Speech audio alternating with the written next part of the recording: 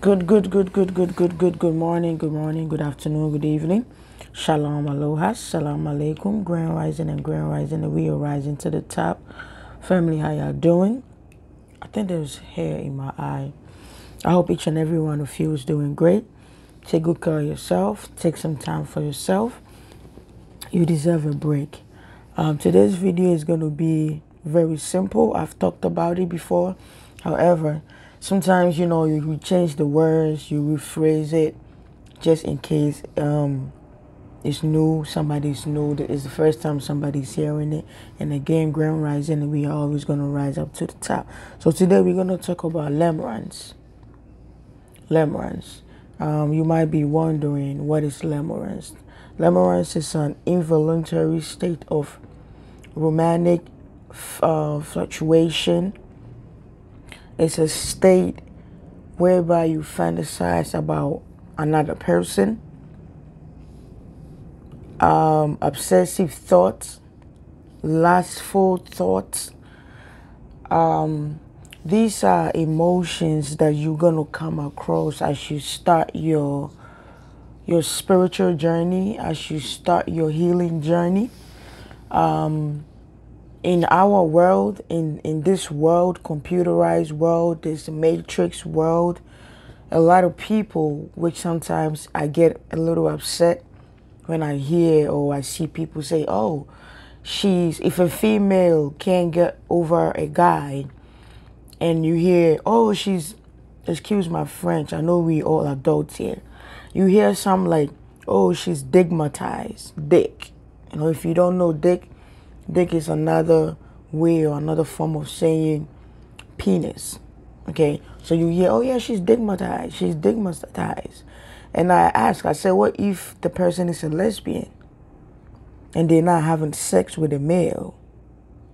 What do you say if it's a lesbian and the other person is obsessive or obsession or lustful over the other person? What do you say? Are you going to say they they ligmatize or they fingermatize or they strapmatize? You know, could they use strap on or they deldomatize? You see that don't make any sense, right? So in spirituality, we we refer to that we refer to limerence as um soul tie. It's called soul tie. There's no such thing as she's digmatized. And I also tell my friends, I said, what if a male, what if a man can't get enough of princess? Does that make that man um, vagina ties, pussy ties? And when I say stuff like that, my friends always laugh. And I said, no, to every reaction, there is an action. Okay? To every reaction, there was an action. And most people don't think like that when you get to that phase, you need to do a lot of healing. You have to do a lot of digging. It's um it's a negative energy. It's a dark energy. Um, religious people might say the devil, Satan, Lucifer. That is the same thing. Negative energy, dark energy. Um, you know, there's white witchcraft and there's dark witchcraft. Dark witchcraft is the same thing as saying Lucifer, evil. These are no such thing as there's no such thing as digmatized or pussy ties. It's called soul ties. You left the person, y'all broken up, or you left the job, you don't work there no more. But for whatever reason, you keep picturing, you keep living in your head thinking that you're still with this person. You fantasizing about this person. You lusting about this person. You have a whole life plan in your head about this person. That is soul tie. And you have to go deep, deep within in and ask yourself because when I talk about healing, I can talk about healing every day. If you're not ready to heal, it's not gonna work. It ain't gonna work. There's a saying that when the student is ready, the master will appear. When the student is ready, the teacher will appear. You have to be ready. You have to go down and say, you know what, I am so tired of thinking about this person over and over. It's draining. It is draining until you reach that point where you feel like, okay, I'm tired, uh, it's draining me, it's, it's stressing me out. No matter what we say, no amount of videos you, you, you watch or look will convince you to change until you reach that level where you feel drained, you can't sleep, you're stressed out. That's when you learn to go within and release that energy. That's how healing starts. That's what healing is about. You release that energy. So yes, there's no such thing as somebody's pussy digmatized or pussymatized. No, it's all soul ties. You still see. This is the thing. When you lay with a person, right?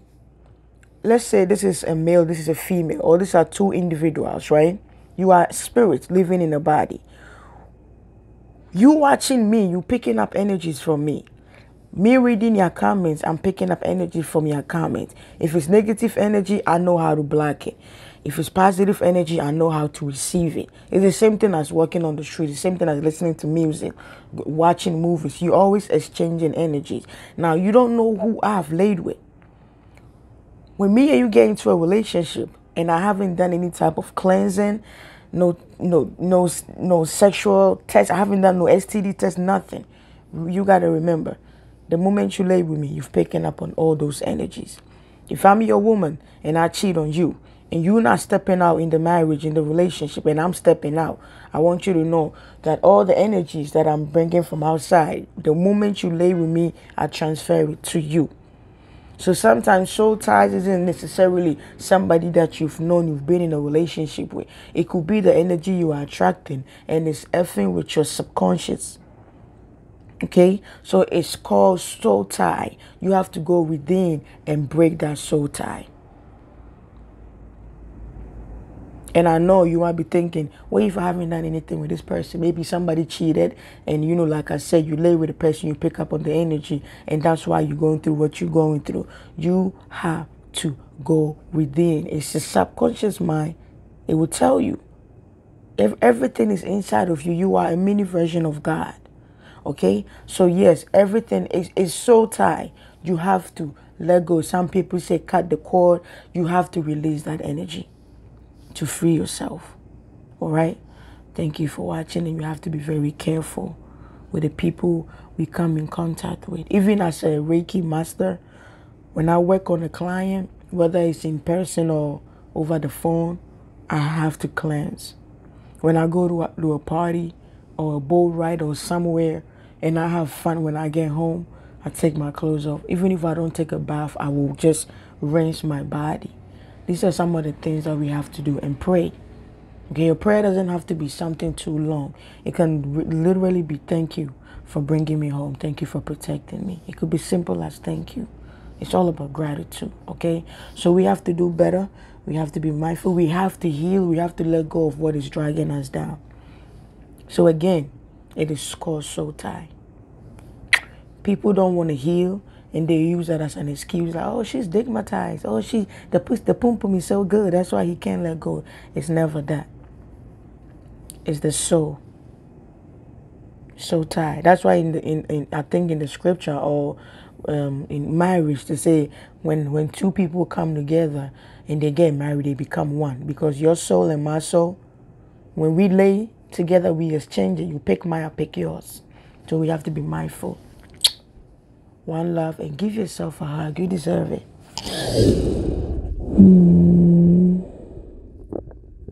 By the way, it's early morning. It's Sunday morning. Thank you for watching.